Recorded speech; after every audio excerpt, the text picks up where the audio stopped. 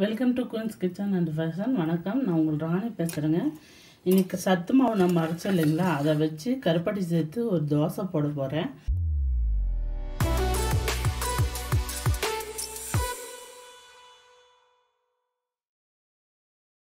அது எப்படி செய்யலாம்னு வாங்க பார்க்கலாம். பார்த்தீங்கன்னா சத்து மாவு கொஞ்சம் எடுத்து வச்சுருக்கேன். தேங்காய் பார்த்தீங்கன்னா ஒரு ஒரு சின்ன தேங்காய் துருவி எடுத்து வச்சுருக்கேன். இப்போ கருப்பட்டி கரைச்சிருக்கேங்க. நான் ஒரு கால் கிலோ அளவுக்கு.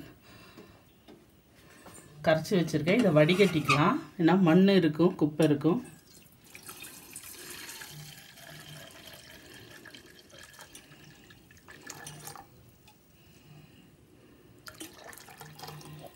வடிகட்டும் போது நீங்கள் இந்த மாதிரி ஸ்டீலில் தான் வடிகட்டணும். இந்த பிளாஸ்டிக்கு நரம்பில் வர்றதெல்லாம் வடிகட்டாதீங்க. அது உருகிடும். இந்த மாதிரி ஸ்டீல் உள்ளதை வாங்கி வடிகட்டுங்க. பார்த்தீங்கன்னா எவ்வளோ குப்பைங்க இருக்குது பாருங்கள் இதை வச்சிடலாம்.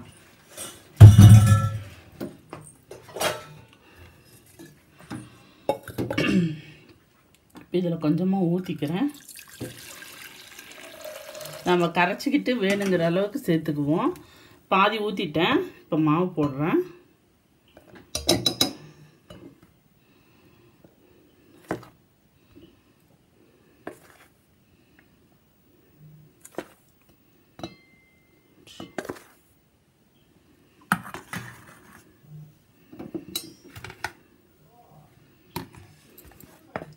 முதல்ல மாவு நல்லா கட்டி இல்லாமல் கரைச்சிட்டு நம்ம லாஸ்ட்டாக தேங்காய் துருவல் சேர்த்துக்குவோம்.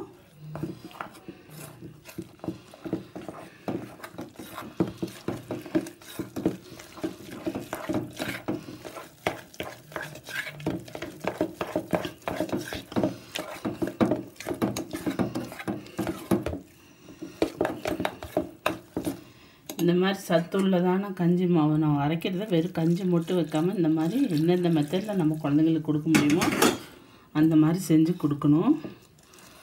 ஒவ்வொரு நாளும் டிஃப்ரெண்ட் முறையில் செஞ்சு கொடுத்தோம்னா சாப்பிடுவாங்க.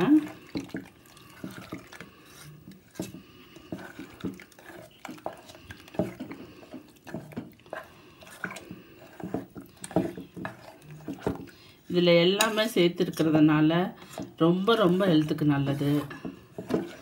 கூட கருப்பட்டிக்கு சேர்த்துறோம் நம்ம. உங்களுக்கு கருப்பட்டி கிடைக்கலன்னா மண்டை வெல்லம் அச்சு வெல்லம் இது வேணால் சேர்த்துக்கோங்க. நாட்டு சக்கரை சேர்த்துக்கோங்க. ஒயிட் சக்கர் வேண்டாம். அவாய்ட் பண்ணுங்கள்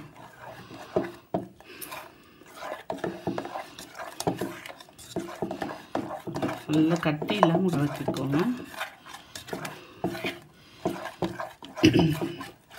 கலக்க கலக்க பார்த்துட்டு தேவையான அளவுக்கு அந்த பாகை இதில் ஊற்றிக்குவோம் பாகு இல்லை சும்மா கரைச்சி தான் வச்சேன். மண் இருக்கு இல்லைங்களா வடிகட்டணுமே அப்படியே வெள்ளத்தை போட முடியாது இல்லையா? நல்லா அந்த கருப்பட்டியும் அந்த கஞ்சி போடுறதுங்க நல்லா சேர்ந்ததுமே மனம் ஒரு நல்ல மனம் வருது. இப்போ இருக்கிற இந்த வெள்ளைப்பாகையும் சேர்த்துக்கிறேன் ஃபுல்லாக பூரா வெள்ளைப்பாகையும் சேர்த்துட்டு தேங்காய் துருவில் சேர்த்துட்றேன்.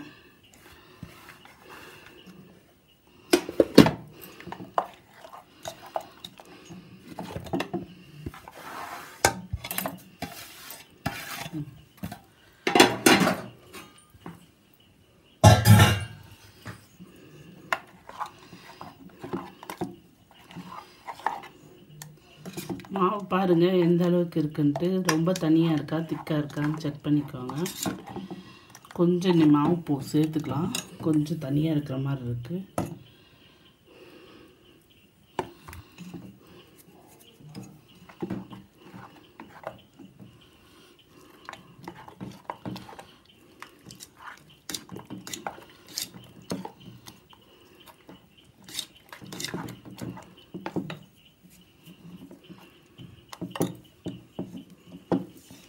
இப்போ நம்ம தோசைக்கல்லை வச்சு ஊற்றிக்குவோம் தோசை பத மாவு பத்துக்கு கலக்கியாச்சு. இதுலேயே ஏலக்காய் முந்து இது சுக்கு பவுடரெல்லாம் இருக்கிறதுனால எதுவும் தேவையில்லைங்க. நம்ம மாவு அரைக்கும் போதே ஏலக்காய் சுக்கெல்லாம் சேர்த்துருக்கோம். அதனால் வாசனைக்கு எதுவும் சேர்த்த வேண்டியதில்லை. நான் கல் வச்சுக்கிறேன். பாருங்கள் கல் காஞ்சிக்கிச்சு. தோசை போடலாம். ரொம்ப பெருசாக போடாதீங்க. குட்டியாக தான் போட முடியும். ஏன்னா இதை கல் கஞ்சிட்டு அடுப்பு லோ பண்ணிடுங்க. நம்ம கற்படி சேர்த்துக்கனால கருகு பார்க்கும். திருப்பும் போது உடஞ்சிடும். அதுக்காக நான் நெய் சேர்த்துறேங்க இன்றைக்கி ஆயில் வேணுனாலும் ஆயில் சேர்த்துக்கலாம்.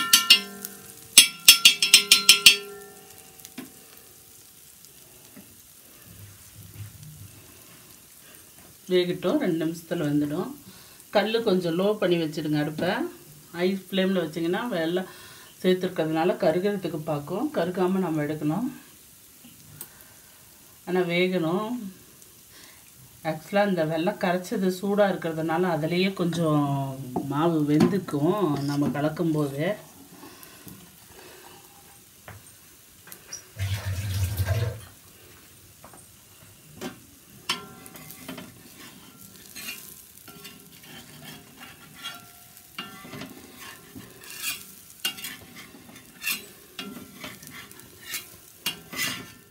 சரி போட்டுக்கலாம் பார்த்தீங்களா ரெட் இந்த மாதிரி ரெட்டு கலராக தான் வரணும். கருகக்கூடாது.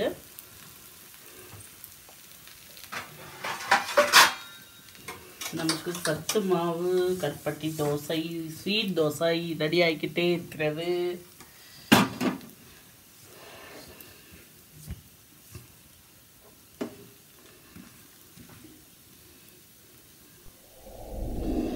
கொஞ்சம் லேட் ஆகும். ஆனால் மீடியம் ஃப்ளேமில் வச்சு தான் இது சு சு சுட்டெடுக்கணுங்க. அப்போ தான் நல்லாயிருக்கும். ரொம்ப ஹை ஃப்ளேமு தோசையும் கொஞ்சம் பெருசாக ஊற்றுனோம்னா திருப்பும் போது பிஞ்சிடுச்சுன்னா கஷ்டம்.